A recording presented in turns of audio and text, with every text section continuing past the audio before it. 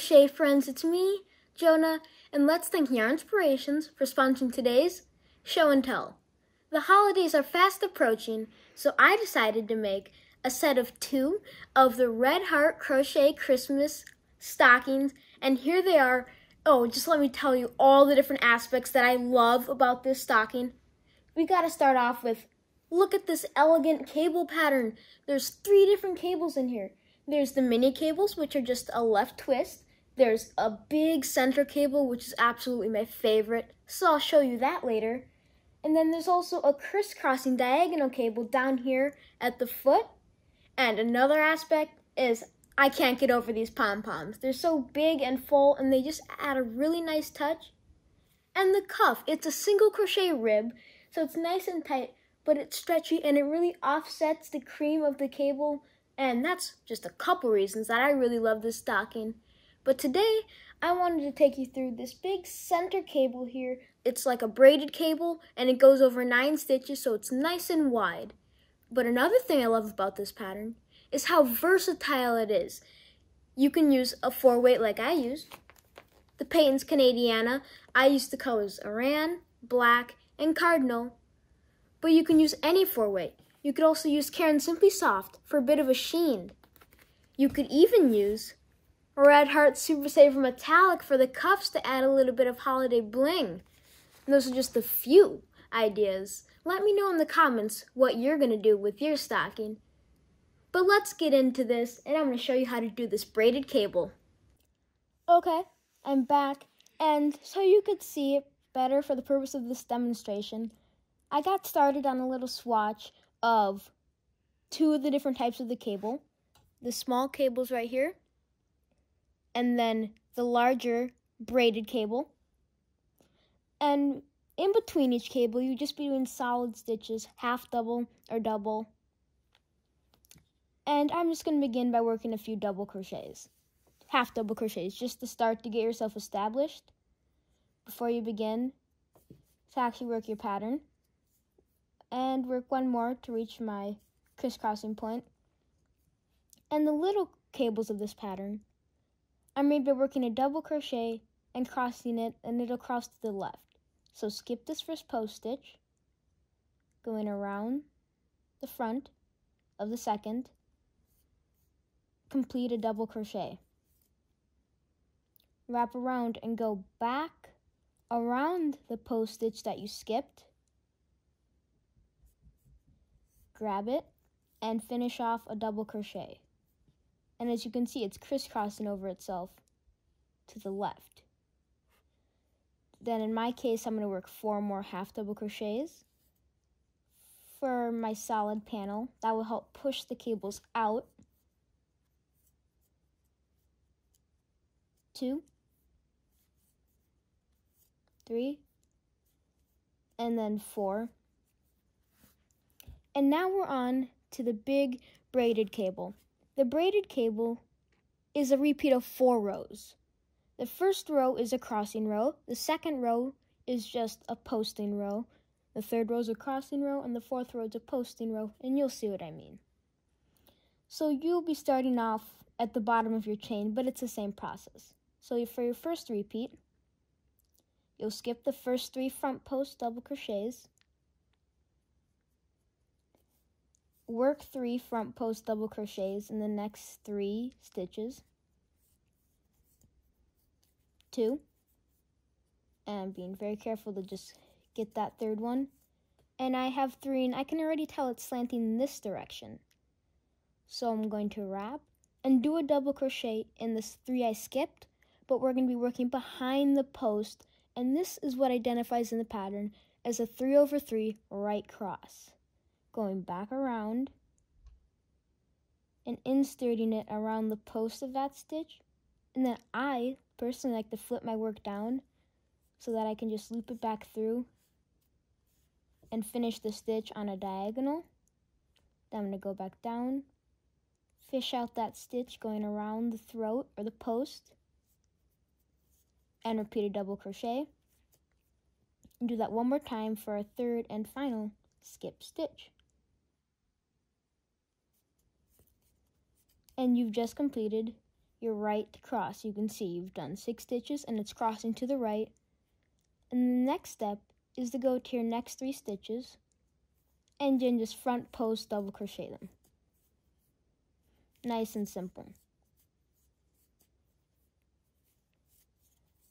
And then you're going to work solid stitches and then your same braided cable that you started with. But I also wanted to let you know, once you establish this center cable pattern, you'll find it was actually, it's actually a very simple pattern and it's also one that's great for memorization because you'll be able to tell from the rows below without counting which one's up next. And you'll see what I mean here in just a moment as soon as I finish up these next couple stitches. Okay, and then I'm going to be taking you through row 2 and 3. And after that, you'll be able to follow on the pattern on your own. So turn your work, and here you see the back side, no cables of course. And chain up 2 or 3 depending on your tension and work your solid stitches. And as you can see now, you've reached your cable, the back side of it. So you're just going to work two back post double crochets going around the first one, scooping around the throat from right to left, and working that second. And then work some solid stitches.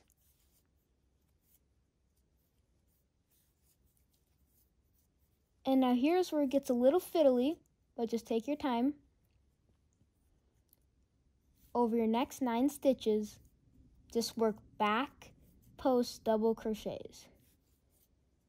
And you're working these back post double crochets so you have some height to work on so that your braided cables are nice and elongated and not short and choppy. I've done my first three and careful to just scoop around my fourth and lead into my next.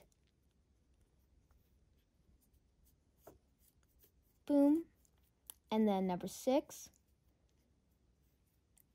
And then with this section of the row, I like to kind of flip my work upside down and find, oh, there's number seven. And right here, there's number eight. And number nine, too. And then, as expected, I'll work my solid stitches in my case, it'd be four. If you do the half double crochet, you'll get more of a denser fabric, but the pattern calls for double crochet, but I'm using half double crochet because it's easier to show you the cables with the height of the stitches and not elongating them. Okay, working four more solid stitches or however many you have to get to the end of your row.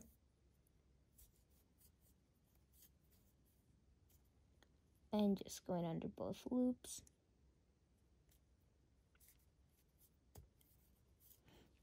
Now this is the row where it's going to change and then you're just going to keep repeating a solid row going back across and then switching out with the two cabled rows. So start off with your solid stitches. And of course for your little cables, or in the pattern as they call them, your 1 over 1 left cross, just skip the first post, double crochet around the second, go back to the first, and double crochet. Then we're going to work four more solid stitches.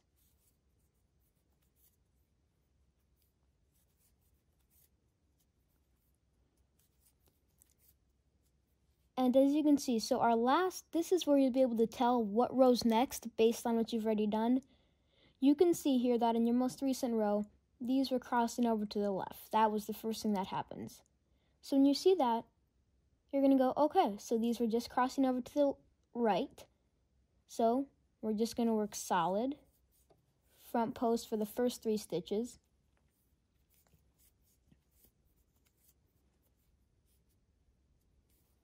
And once you do that, you can come right over here and see, oh, there's three here, and then these three are kind of hidden behind it.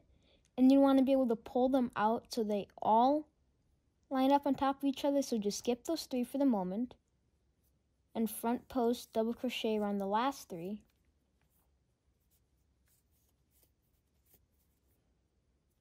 And again. And then it kind of closes up the cable, but what you're going to have to do is separate it and stick your hook down into the center and scoop out that first skip stitch.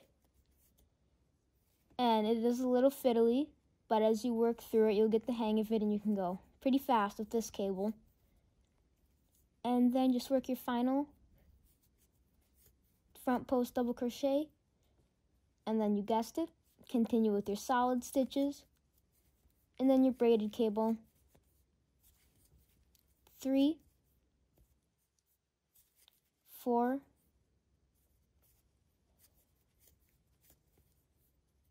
and just loop it around for miniature cable braid. And for your first few rows of the cable, I recommend you take it nice and slow because the first two rows are usually the make or break for the cable. And now so I can lay it down flat, I'm just going to work a few more chains. Now, when I lay it flat, you can see I have my two side cables, my solid stitching, and then my center braided cable. And what you'll need to do to achieve this pattern going all the way the length of your stocking, which by the way is 20 inches tall, it what you're going to have to do is then do a row back across, which is a repeat of row 2, where you're just going to do back posting on your post cables and then just solid stitches where your solid stitches are.